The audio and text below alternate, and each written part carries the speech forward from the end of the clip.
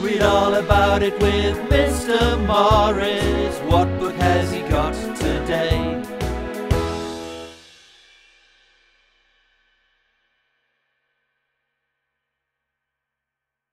There's a Snake in My School by David Walliams. Mr. Bright had told all the children in his class it was bring your pet to school day.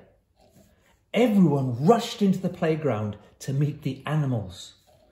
There was a stupidly cute gerbil, a tiny goldfish, a fat cat, a 100 year old tortoise, and a tall dog.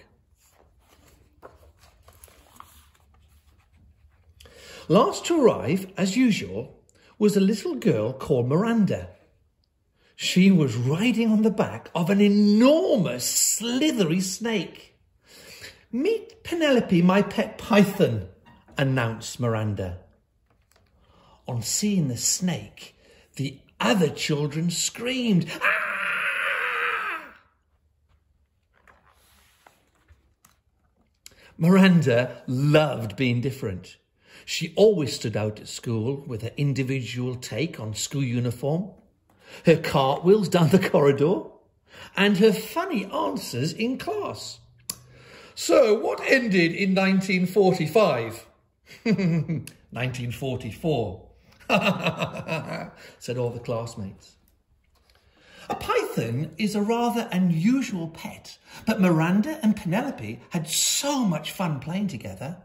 For the little girl, the snake would pretend to be a scarf, a hula hoop, a balloon, a telescope, a trombone, and sometimes when they were both feeling particularly mischievous, a third arm.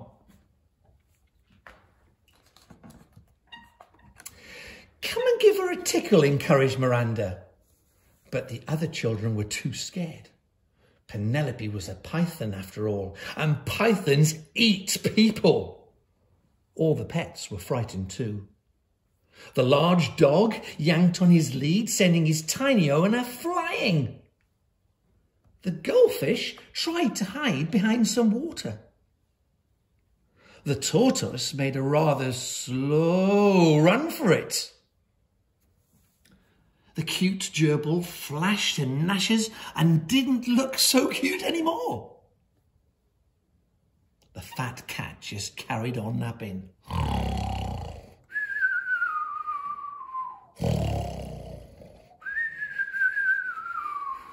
And Miranda, she slid down her snake. The little girl tickled her python under the chin and the snake smiled. See, she's very friendly. Soon, everyone was gathered around to marvel at Penelope. The python loved the attention and made a climbing frame for the children to climb on. steps for them to step up, and a fireman's pole for them to slide back down. Penelope even helped the children learn their numbers, although she could only go up to nine. One add eight equals nine. This was turning into the best day of school ever. But then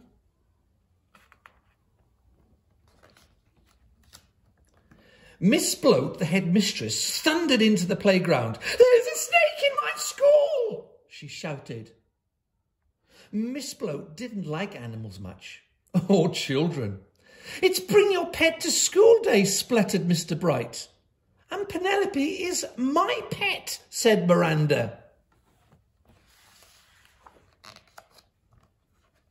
Miranda, I should have known you would have to be different. A snake is not a pet, it's a menace, snapped Mrs. Blo Miss Bloat. Mr. Bright, all these filthy beasts are confiscated. All the girls and boys shouted, No! As the headmistress stuffed their pets into the lost property cupboard. Except for Penelope the snake. Miss Bloat had other ideas for her.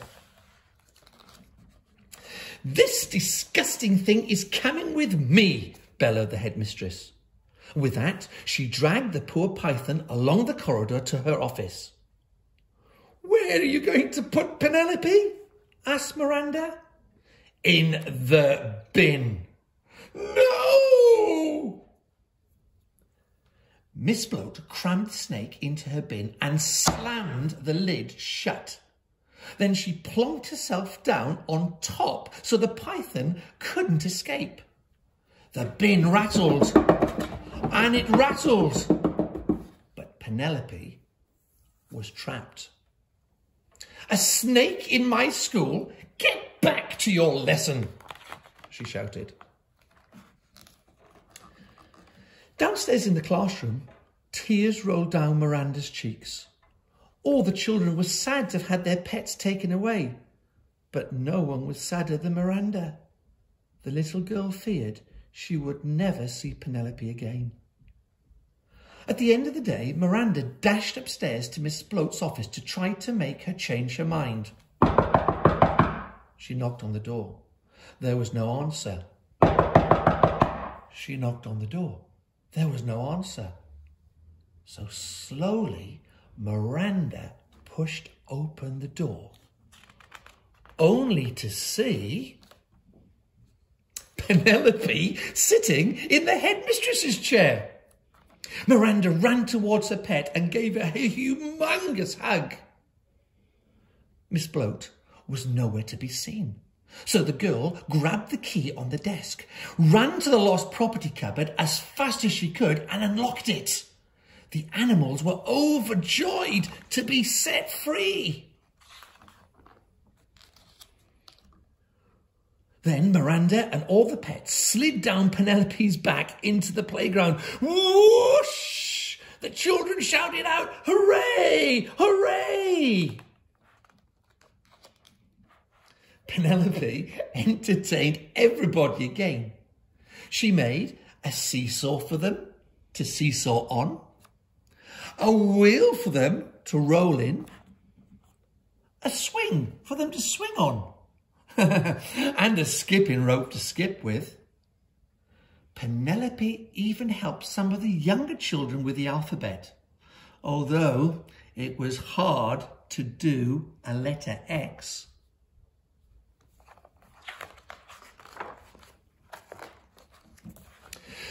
As for Miss Bloat, she had completely disappeared. So Mr. Bright was made headmaster. Now the children were allowed to bring in all their favourite animals whenever they wanted to. The school became home to every sort of fantastic creature. A gorilla, an elephant, an ostrich, a giraffe, a tiger, and even a colony of penguins. Oh, and don't forget the kangaroo, or the crocodile, or the grizzly bear. But the star attraction was always Penelope. Though Miranda had noticed that there was something different about her python. I wondered if you can see what is different about that python. I think you've got it. There was a bulge, a big bulge in the snake's tummy, a bulge in the shape of Miss Bloat. But the little girl thought it best not to say anything. Let me out! Let me out! Let me out! Read all about it with Mr. Morris. What book has he got today?